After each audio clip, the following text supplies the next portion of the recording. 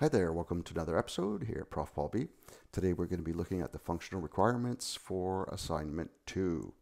And you are required to build a super cool spy application. Obviously, um, I know many of you will be able to create a much nicer, slicker application than me. And if you do so, by all means, uh, the only thing I do have to mention and remind you is not to remove any of the functionality. You can make it, spice it up, make it look better, that's fine, but we still need all of the functionality. Otherwise, yeah, you're going to lose marks, okay?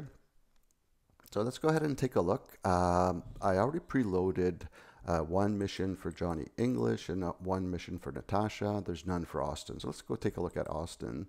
And if we click on go, we see that the missions for Austin Powers and there are no current missions. So we'll go back home and let's go ahead and view for Johnny English. See he's got one, rescue the queen. And let's go ahead. We notice we have these two operations that we can do. Let's click on edit. And instead of rescue the queen, we can actually say, or instead of poison cigar, here, let's have exploding cigar and I click on update mission and notice now that changed it to exploding cigar. And uh, we could actually go ahead click here and click on delete and it brings us back to this view page uh, with no current missions. Let's go back to home and I'm actually going to now create a mission. And the mission title I will just say let's say it would be uh, uh capture the moon so capture the moon. There we go. Capture the moon base. And we could give this one to Natasha or Austin, actually. That would be a good one for Austin. And gadgets could be a rocket ship. And what was it? The big boy? Dr. Evil? Yeah, Dr. Evils. Yeah, let me just do that. Dr. Evils. Ship. And let's say another gadget would be, uh, what would be another gadget that he could use? A laser beam. There we go. And I'm going to go ahead and create mission. And it brings me to the view missions for Austin Powers. And here we can go back home. And I want to create another mission for Austin Powers. And let's go ahead and do this one will be uh, capture, let's say, um, capture the White House. There we go. okay, no politics involved, just for fun. And what would what would be some of the gadgets he could have, like a stealth, maybe a stealth helicopter or something like this, and also a um, machine gun. There we go. Why not? Okay. Now we do create mission. And now we see that this table, um, you know, keeps on, you know, building for as many missions as there are for Austin Powers. So we go back home.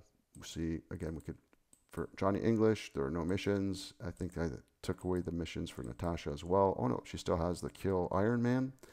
And um, go back to home. And we see for Austin Powers, we can go and we see that there are two.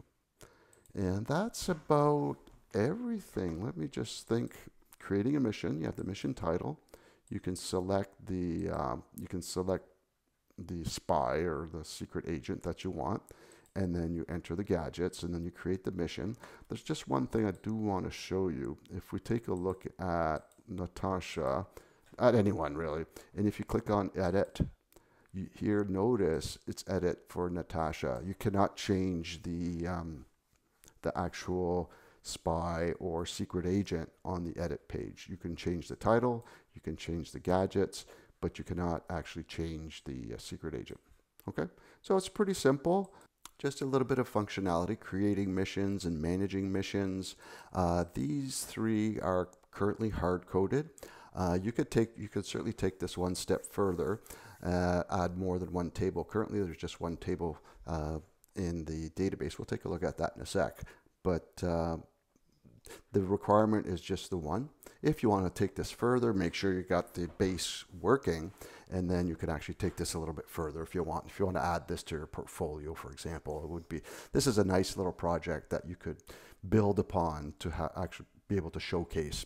Okay, so let's take a quick look at here's here's our project. This is the data.sql, and here's where I'm creating a couple of agents. Um, sorry, a couple of missions. And uh, we also see we have a schema.sql. And let me just double click there. And here's our one table with agent, title, uh, gadget 1 and gadget 2, and an ID. Very important, the ID. The one thing I wanted to, oh, let me just show you quickly uh, in our Super Spy app. If we, let me just bring it back here. Sorry about that. So, sorry about zooming in so fast. So, Johnny has a, no, Johnny doesn't have any. Let's see, does Austin have any? Yeah. So if we take a look, and this is a, this is a good example to look at. Let's if we take a look at the uh, page source, um, this you will have to create this using Thymeleaf. Notice here we have Thymeleaf is creating this dynamically, obviously. And notice here the hrefs, the slash edit mission three slash edit delete mission three, and same with four and four. So you should you'll have to use the path variables like we did in class for this. Okay and um, and that's the only thing I really wanted to show. Oh, something else is both the create mission as well as the edit mission pages. Um, you could combine them uh, if you're really if you're really adventurous but uh, my my requirement is it, you can have two separate pages, but they should both be using form binding. And at the controller level, you should be using the model attribute coming in. I don't want I don't want you using the parameters coming in. Uh, I want you to use uh, the model attribute coming in. Okay, just like we did in class. So that's about it. This is the the application. It's not too complicated, but I think it's enough to keep you busy for a little bit and have a little bit of fun. Here's the, here's the structure.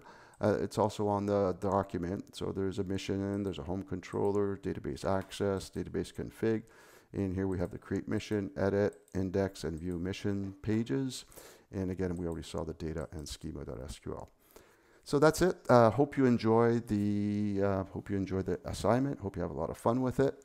Uh, go ahead and add some stuff to it. Uh, but um, again, make sure you have the bases covered for the uh, for the base functionality.